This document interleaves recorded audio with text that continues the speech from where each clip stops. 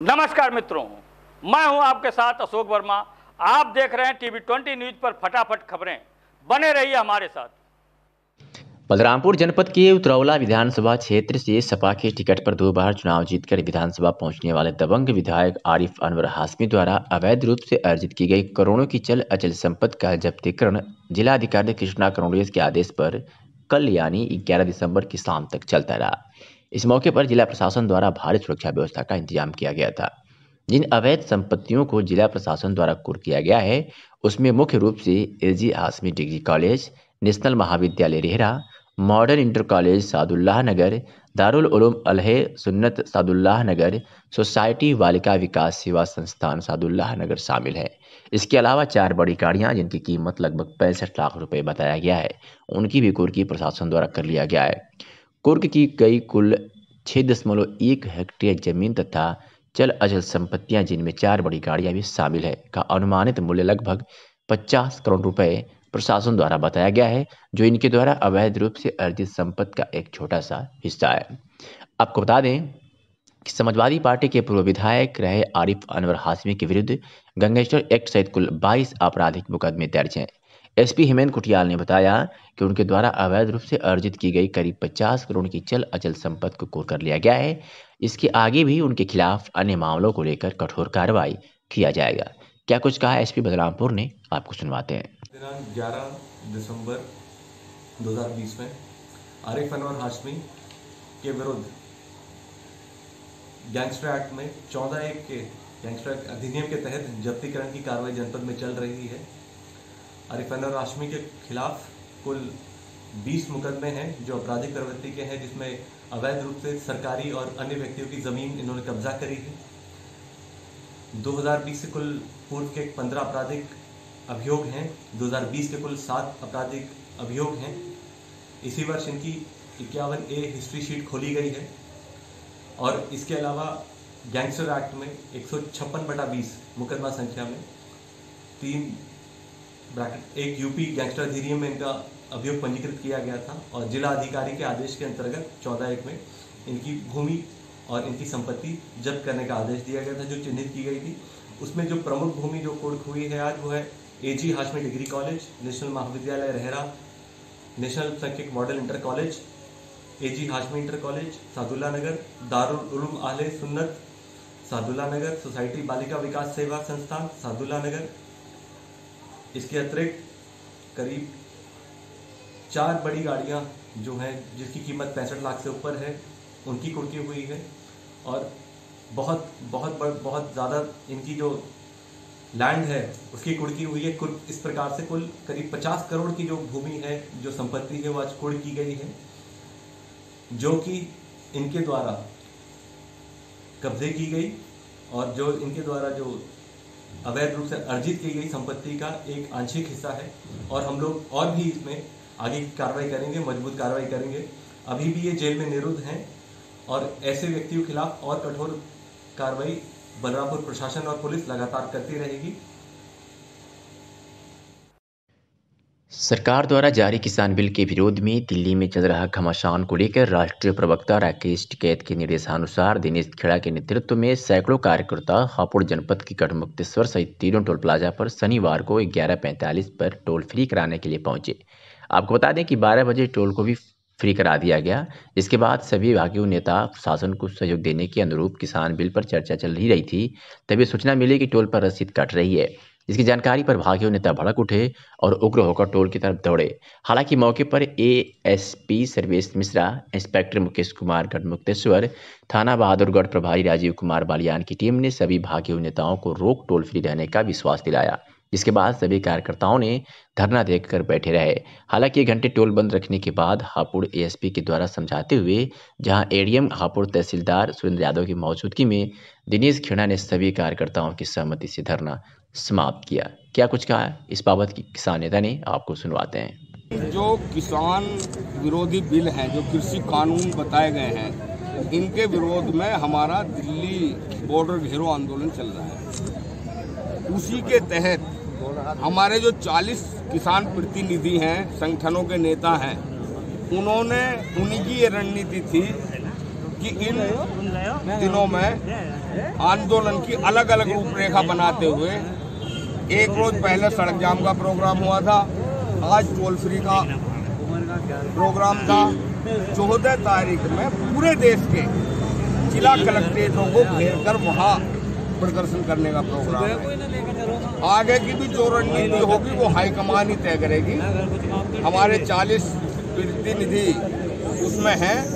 जिनकी अगुवाई माननीय हमारे राष्ट्रीय प्रवक्ता राकेश टिकैत जी कर रहे हैं। और किसान यूनियन के लिए खासतौर से उत्तर प्रदेश के लिए ये भी बहुत बड़े सौभाग्य की बात है कि कम से कम हिंदुस्तान के समस्त किसान प्रतिनिधियों को किसानों को आपके संगठन भारतीय किसान यूनियन पर आपके नेता पर उन्होंने विश्वास व्यक्त किया है और उनकी अगुवाई में आंदोलन को आगे बढ़ाने का कार्य कर रहे हैं।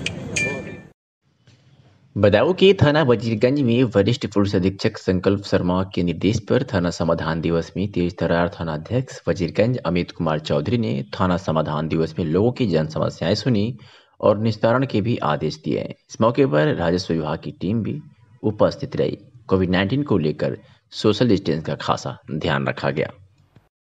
उत्तर प्रदेश के जनपद हापुड़ में आज समाजवादी पार्टी के जिलाध्यक्ष तेजपाल प्रमुख व उनकी कार्यकर्ताओं ने अपने जिला कार्यालय से कृषि कानून का विरोध कर अपनी मांगों को सरकार तक पहुँचाने के लिए बाइक रैली, किसान जन जागरण यात्रा निकालने का आयोजन किया। लेकिन कि समाजवादी पार्टी के जिला अध्यक्ष व उनकी, उनके कार्यकर्ताओं को तहसील चौराहे पर ही रोक दिया गया। आपको बता दें कि बाइक रैली के माध्यम से किसान जन जागरण यात्रा निकालने से पहले ही जिला कार्यालय के बाहर एसडीएम सहित सैकड़ों की संख्या में पुलिस बल मौजूद था ताकि रैली को आगे ना जाने दिया जाए। लेकिन उसके बावजूद भी समाजवादी पार्टी के कार्यकर्ता पुलिस के द्वारा लगाए गए बैरिकेडेड को तोड़कर आगे निकलने का प्रयास करते रहे, लेकिन आगे ना जा सके और उन्होंने वहीं पर ही अपनी मांगों को सरकार तक पहुँचाने के लिए एसडीएम सदर सत्यप्रकाश को राष्ट्रपति के नाम ज्ञापन सौंपकर अपने कार्यालय वापस चले गए। आपको बता दें कि समाजवादी पार्टी के कार्यकर्ता आज कृषि कानून के विरोध में बाइक रैली के द्वारा जिला कार्यालय हापुड़ से अछेजा निजामपुर नया गाँव कमालपुर होते हुए इस रैली का समापन आलमपुर में होना था। लेकिन पुलिस ने सपा कार्यकर्ताओं के साथ कड़ी मशक्कत करते हुए उन्हें तहसील चौराहे पर ही रोक दिया। और सपा कार्यकर्ताओं ने अपनी मांग को सरकार तक पहुँचाने के लिए एक ज्ञापन राष्ट्रपति के नाम सौंपा। अपनी बात को, किसानों की बात को, गरीबों की बात को कहने का ये बिल्कुल जो अधिकार था इस भारत में, ये बिल्कुल छीनने रही है। हमारी आवाज़ को दबा रही है। हमारी मोटरसाइकिल यात्रा थी आज। उसमें जो यहाँ हम ऑफ़िस पर इकट्ठे हुए यहाँ से मोटरसाइकिल लेकर गए। चौधरी चरण सिंह जी की जो मूर्ति है तहसील हापुर में वहाँ से आगे हमें नहीं जान दिया वहाँ बैरिकेटिंग कर दी और वहाँ तमाम फोर्स बुलाकर कहाँ से कहाँ तक निकाली जानी थी आपकी जो हमारी जो आज की यात्रा थी यहाँ से अछेजा अछेजा से निजामपुर निजामपुर से कांवई कांवई से नया गाँव नए गाँव से कमालपुर और इसका समापन था आलमपुर में। जो आज इन्होंने यहाँ तहसील चौराहे पे चौधरी चरण सिंह जी की प्रतिमा पर रोक दी गई और आगे नहीं जाने दिया। और इससे पहले भी हमने एक दो बार यात्रा रेगुलर चल रही है सात तारीख से, लेकिन कई मुकदमे भी हो गए। आज इन्होंने बिल्कुल भी हमें आगे नहीं जान दिया तो हमने यही ज्ञापन देकर और अपनी बात को आगे सरकार तक पहुँचा, पहुँचाने का प्रयास किया है। और ये योगी मोदी सरकार कितनी इन बातों को ध्यान में रखते हैं और इस अन्नदाता की बात को कितना सुनते हैं, इन्हें जो हमारे इस देश के अन्नदाता हैं, इन्होंने ही कुर्सी पर बैठाने का काम करा और इन्हीं के साथ जो ये आज रवैया अपना रहे जो हमारे जो राष्ट्रीय अध्यक्ष आदरणीय अखिलेश यादव जी, निरंतर जब तक ये किसान अन्नदाता सड़कों पर रहेंगे। जब तक समाजवादी पार्टी के राष्ट्रीय अध्यक्ष जी के आदेश निर्देश में पूरी तरह से ये काम चलता रहेगा। इसी कड़ी में हम लोग साइकिल यात्रा निकाल रहे थे और साइकिल यात्रा में हम लोग जाते किसानों को सेवा भाव के लिए। लेकिन चूँकि इस उत्तर प्रदेश सरकार ने पुलिस से गुंडागर्दी, पूरी तरह से समाजवादी पार्टी पर लाठी, डंडे, धक्का, मुक्की और पूरी तरह से बैरिकेटिंग डालकर हमको एक तरह से बंदिक बना लिया और विपक्ष का जो काम है उसको करने में बिल्कुल हमारे लिए बल प्रयोग कर रही है। हम उसकी घोर निंदा करते हैं। दूसरी तरफ़ इनका ये कहना है कि आप रोड जाम कर रहे हो, सड़कों पे किसान हैं आने जाने वालों को परेशानियाँ हो रही हैं। तो मैं कहना चाहता हूँ, सरकार से लगातार आप आपके कैबिनेट मिनिस्टर कह रहे हैं, लगातार उनसे संपर्क में डायलॉग के ज़रिए से बात चल रही है। अगर किसानों के हित में ये बिल है तो क्या किसान समझ नहीं पा रहा? किसानों के लिए कह रहे हैं कि उनकी आय दुगनी हो जाएगी किसान बहुत फले फूलेगा कहीं ना कहीं किसान को डर है वो बहुत परेशान है। आप सरकार से अनुरोध करते हैं कि आप इन तीनों कानूनों को जो किसान विरोधी कानून है इसको तत्काल पार्लियामेंट बोर्ड की मीटिंग बुलाओ और इसको समाप्त कर दें। ये हमारी सरकार से कहाँ ये तुम्हारी बाइक रैली निकाली गई और कहाँ पे इसको रोका गया? देखिए हमारा जैसे हम तहसील चौराहे पे पहुँचे वहीं उन्होंने बैरिकेडिंग कर तमाम पीएससी पुलिस तमाम आला अधिकारी इस ज़िले के मौके पे थे। उन्होंने बल प्रयोग किया, धक्का मुक्की की, एक तरह से प्रेशर किया। जबरन हमको वहाँ रोका, जिसकी समाजवादी पार्टी के कार्यकर्ता घोर निंदा करते हैं। तो मैं आपसे ये एक चीज़ कहूँगा कि देखिए, जो विपक्ष का काम है, ईमानदारी से अपना दायित्व निभा रहा है, लेकिन पुलिस प्रशासन डंडे के ज़ोर पर हमको धमकाने का काम कर रहा है, हमको खबर आजमगढ़ से है, जहाँ महिलाओं के साथ हो रहे दुर्व्यवहार व छिड़खानी के मामले में उत्तर प्रदेश सरकार के सख्त होने से पुलिस भी ऐसे अपराधियों को सलाखों के पीछे पहुँचाने की मुहिम तेज कर दी है। इस क्रम में महाराजगंज, कोतवाली क्षेत्र के कलवरिया निवासी महिला के साथ अभद्र व्यवहार व छिड़खानी में मारपीट के साथ धमकी देने में वांछित अभियुक्त मनोज को गिरफ़्तार कर जेल भेज दिया। महाराजगंज की पुलिस से मिली जानकारी के अनुसार प्रभारी निरीक्षक गजानंद चौबे के नेतृत्व में उप निरीक्षक में हमराही कर्मचारी गण के उपरोक्त मुकदमे की विवेचना के क्रम में परशुरामपुर बाज़ार पहुँचे ही थे कि ज्ञात हुआ कि मुकदमा उपरोक्त का अभियुक्त मनोज पुनः वादिनी मुकदमा से मारपीट करने हेतु आमादा है वह उसके दरवाजे पर मौजूद है। मौके पर पहुँची पुलिस के सामने ही मनोज वादिनी के घर के सामने खड़ा होकर ललकार रहा था। पुलिस वालों को देखकर मुड़कर भागने का प्रयास किया कि पुलिस बल द्वारा एक बार की दबिश देकर घेर कर मौके पर पकड़ लिया गया। आरोपी उपरोक्त की गिरफ्तारी की सूचना, आरोपी मनोज के पिता अयोध्या नायक को मौके पर दे दिया गया। महाराजगंज पुलिस द्वारा महिला संबंधित संवेदनशील मामला बताते हुए कार्रवाई कर जेल भेज दिया गया। कानपुर देहात के राजपुर थाना क्षेत्र के बैना गाँव में बीती दीपावली को गाँव के दो पक्षों में पटाखा चलाने को लेकर मारपीट हो गई थी। गाँव के कुछ संभ्रांत लोगों ने थाने में सुलहनामा करा दिया था।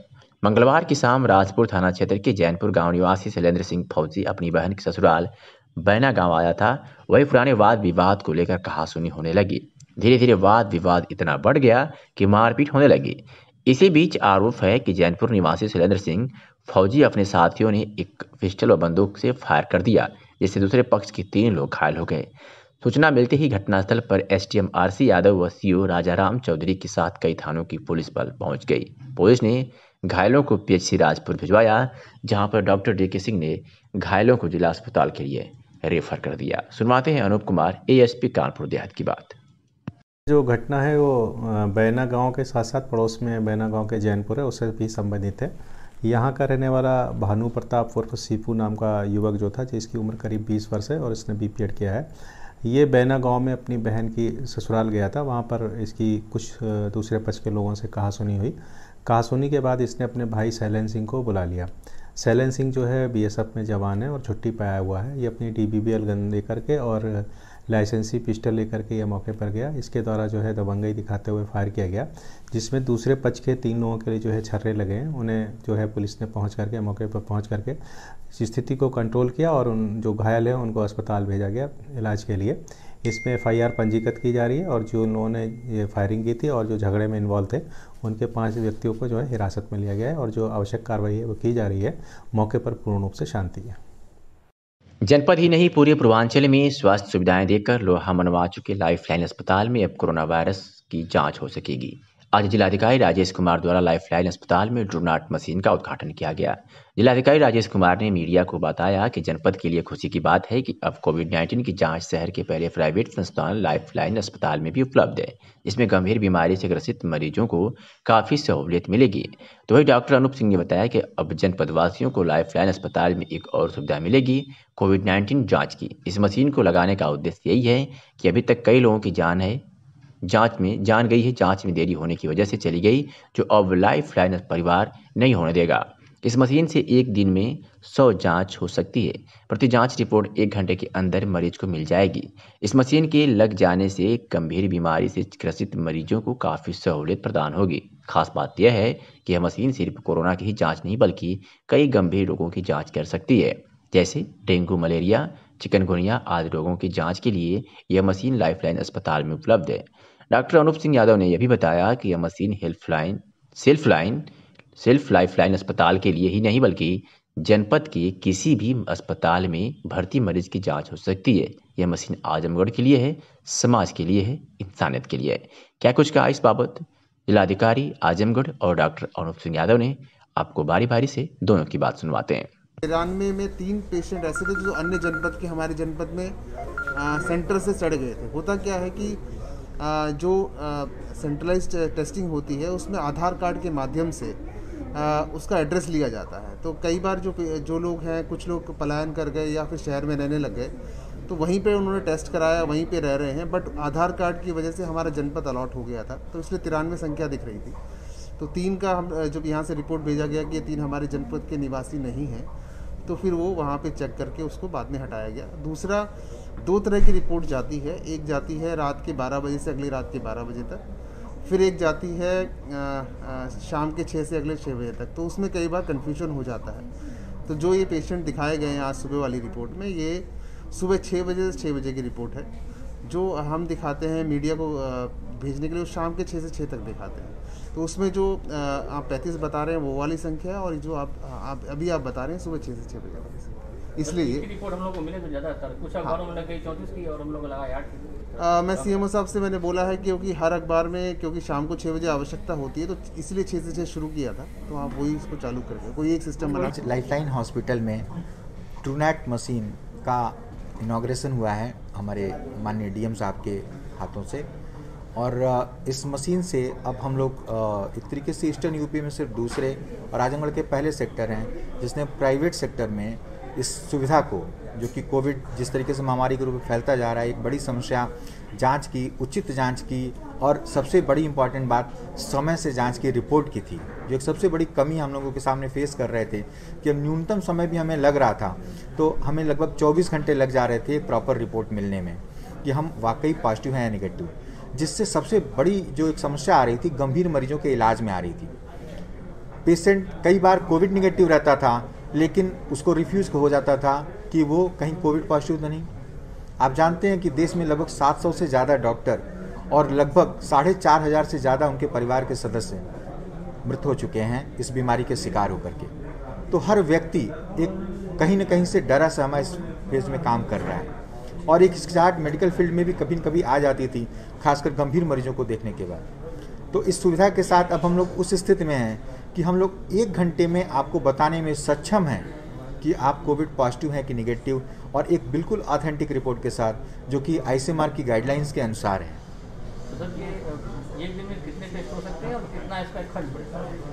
एक दिन में इसके लगभग सौ रिपोर्ट्स हम लोग एक दिन में कर सकते हैं। और देखिए R T P C R के जो हैं मेरे ख्याल से 700 या 900 कितना मुझे एग्जैक्टली आइडिया नहीं इसका।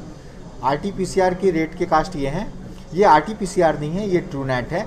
और इसका एग्जैक्टली exactly इसका मुझे कहना मुझे ये डॉक्टर पीयूष बता पाएँगे जो हमारे मैनेजिंग डायरेक्टर हैं कि क्या इसके क्योंकि उसके बारे में मुझे नहीं आइडिया कि क्या चार्जेस हैं क्या उसके। और गवर्नमेंट द्वारा निर्धारित क्या चार्जेस हैं इसके बारे में मैं उचित व्यक्ति नहीं होऊँगा क्योंकि मुझे वाकई इसके बारे में जानकारी है। जैसे सरकारी अस्पताल में भी टू नॉट मशीन है। हाँ जी। उसमें इसमें क्या अंतर है? जैसे टेस्टिंग में उसमें भी देखिए सरकारी अस्पताल में जो टूनेट मशीन है टूनेट मशीन दो तरीके की होती है। एक होती है ड्यूप्लेक्स और एक होती है मल्टीप्लेक्स तो ड्यूप्लेक्स मशीन आपको सिर्फ़ कोविड के एक एंटीजन को चेक करती है और उसके दो स्टेज होते हैं। इसको दो बार में करना पड़ता है। फ़र्स्ट स्टेप में वो एक आइडेंटिफाई करती है कि क्या ये जो वायरस है ये पेशेंट कोरोना वायरस की फैमिली का है या नहीं? पहली बात। और दूसरी बात कि अगर ये कोरोना वायरस फैमिली तो कोरोना वायरस फैमिली एक बहुत ब्रॉड फैमिली है। और उसमें क्या ये कोविड नाइन्टीन है? सार्स कोविड टू जिसका नाम है वैज्ञानिक नाम। तो सेकेंड जो जाँच होती है, वो कोविड नाइन्टीन से रिलेटेड होती है। तो उसको दो स्टेज में करना पड़ता था पहले। लेकिन जो ये मशीन है, जो लाइफलाइन में इंस्टॉल हुई है, ये एक मल्टीप्लेक्स से है, जो सिंगल बात में, बार में ही आपको दोनों जाँच, दोनों एंटीजन एक बार में चेक करती है। इसलिए इसकी सेंसिटिविटी और efficacy equivalent to R T P C R है। क्योंकि इसके ट्रू निगेटिव का मतलब कि पेशेंट ट्रू निगेटिव है, वो कोविड निगेटिव है। और अगर इसका ट्रू पॉजिटिव है तो इसका मतलब पेशेंट ट्रू पॉजिटिव है और वो कोविड पॉजिटिव है। तो इस मशीन की authenticity R T P C R के इक्विवेलेंट है। डॉक्टर कि और भी जाँच की सुविधा कुछ नहीं है? इस मशीन से न सिर्फ़ हम कोविड, बल्कि ट्यूबरक्लोसिस डेंगू, चिंकुनगुनिया, इसके बारे में भी जानकारी प्राप्त कर सकते हैं टाइफाइड की ऑथेंटिक रिपोर्ट प्राप्त कर सकते हैं।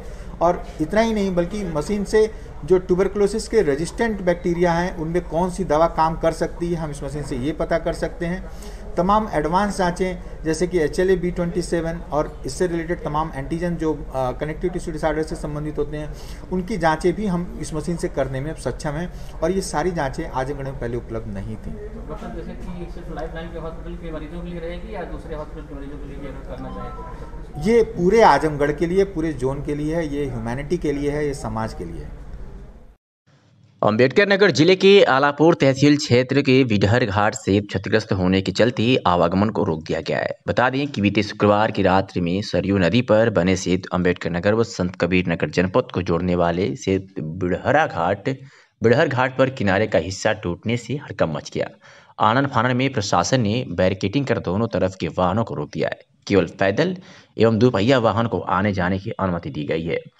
बीते दिनों इस संबंध में एक खबर भी प्रकाशित की गई थी लेकिन अधिकारियों के कान में जो तक नहीं रेंगी और आखिरकार पुल पर लगभग दो मीटर की परिधि का गड्ढा बन गया है। विदित हो कि इस पुल से प्रतिदिन हज़ारों वाहनों का आवागमन होता है। गाड़ियाँ क्यों नहीं जा पा रही हैं? पुल खुलता है। तो कब से आप यहाँ पे रुके हैं एक डेढ़ घंटा। एक डेढ़ घंटा से रुके।